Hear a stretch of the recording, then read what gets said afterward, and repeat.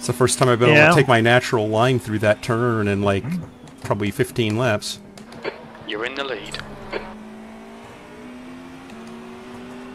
Left side. Well, you've got a lot of aero and a lot of attitude, so I apparently am in. I'm the overall leader of the race right now.